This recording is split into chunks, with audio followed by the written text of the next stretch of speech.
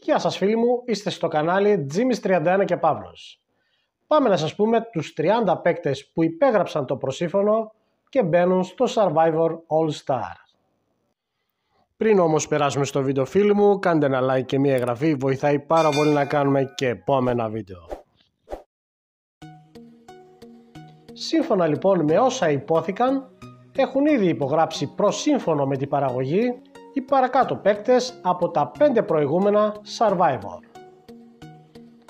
Από το Survivor 1 υπέγραψαν Μάριος Πρίαμος Ιωαννίδης, Κωνσταντίνος Βασάλος, Ευρυδίκη Βαλαβάνη, ο Μπό και ο Κωνσταντίνος Αναγνωστόπουλος.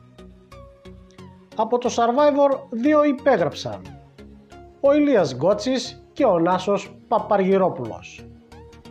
Από το Survivor 3 υπέγραψαν Κατερίνα Δαλάκα και η Αφροδίτης Σκαφίδα. Από το Survivor 4 υπέγραψαν ο Σάκης Κατσούλης, η Μαριαλένα Ρουμελιώτη, ο Ηλίας Μπόγδανος, ο Κόρομη, η Νικολέτα Μαυρίδη, ο Γιώργος Ασημακόπουλος, Νίκος Μπάρτσης, Καρολίνα Κολίβα και Άννα Μαρία Βέλη, Έλενα Κρεμλίδου, Περικλής Κοντιλάτος και ο Τριαντάφυλλος. Και τέλος, από το Survivor 5 υπέγραψα Στάθης Χίζας, Χρυσούλα Χρυσαϊδή, Ασημίνα Χατζιανδρέου. Ο Σπύρος Μαρτίκας, η Βρυσίνδα Ανδριώτου, Τάκης Καραγκούνιας και η Στέλλα Ανδρεάδου.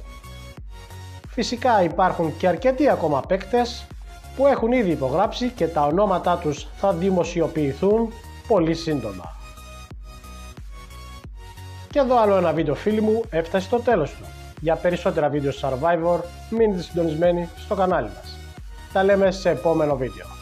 Γεια σας!